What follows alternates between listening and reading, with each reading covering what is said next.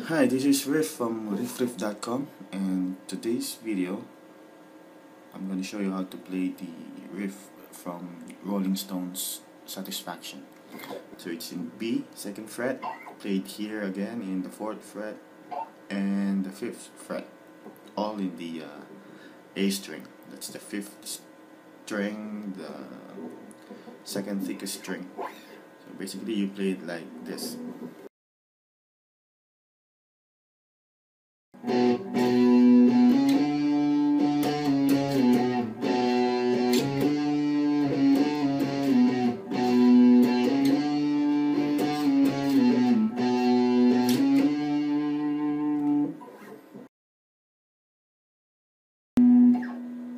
Second fret, fourth fret, fifth fret, all on the A string or the fifth string.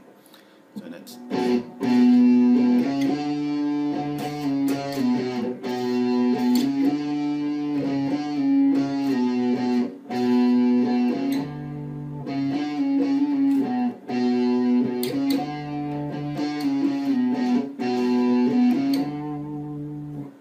that's how you play satisfaction. And if you want to get the chords or the uh, tablature if you want to learn the whole song you can drop me an email and I can send you the full tablature of the song via email.